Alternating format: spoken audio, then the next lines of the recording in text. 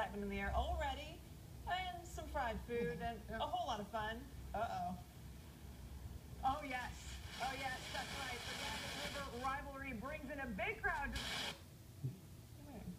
100,000 people are expected to be here on game day, and we figure why not get a little competition started early? All right, we've got my friend Rusty here with the Oklahoma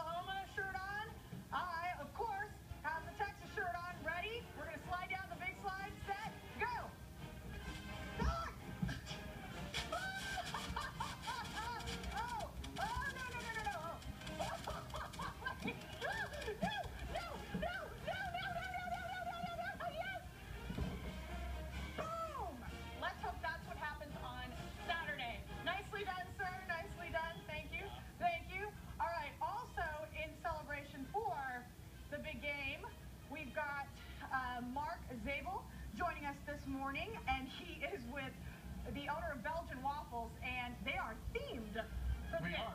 We did uh, red for tech, uh, OU and orange for Texas. All right. Now you're celebrating 50 years. We are. It's our 50th anniversary, and we're actually doing a collector coin with every waffle that we sell. And uh, we thought it would be fun this year to do themed waffles for Texas OU. Now, la- now, last year, what sold more? Um, no idea because I've never tried the bigger. Oh, really? This will be the first year, so I actually have? Okay. jars that I'm going to put orange jelly beans in for every orange waffle that's sold, and a red jelly bean in for every red waffle that's sold. All right. So well, I will my, know at the end of the fair. my the end of money's on this one right here. That, that's that's what I'm. You know, there's some challenges in our family. I went to Texas. My wife, my mother went to OU, so Uh-huh. there is a clear division in our family.